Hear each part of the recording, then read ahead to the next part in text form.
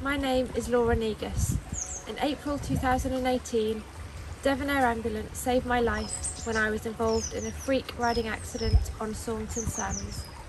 Please support your local air ambulance so they can continue saving lives just like they did mine.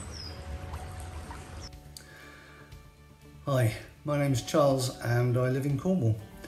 In 2017 I had uh, an accident in my own home where I sustained uh, nine broken ribs, a punctured lung and internal bleeding caused through a fall from height. The Cornwall Air Ambulance attended me on site in my own home and whisked me off to Derriford Hospital.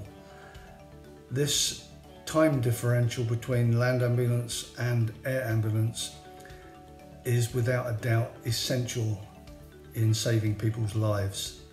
So please support your local air ambulance charity and help them carry on saving lives as they did for me.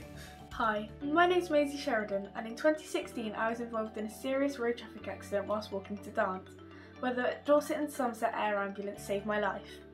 Please make sure to support your local air ambulances as they could save yours or a family member's life or even a friend's, just like they did mine. My name is Nikki and this is my daughter Jasmine. In 2019, Great Western Air Ambulance charity saved Jasmine's life when she suffered a frightening cardiorespiratory arrest at home. We're certain without their help, she wouldn't be here with us today. Please support your local air ambulance so they can continue saving lives just like ours. Hi, my name's Max Chan and on the 14th of May 2014 I was involved in a road traffic collision. I was on my way to school when I uh, suffered some serious injuries. I broke my spine, collarbone and I split my duodenum. Thanks to the Wiltshire Ambulance, they took me to Bristol Children's Hospital in a matter of minutes. If it wasn't for them, I doubt I'd be walking today.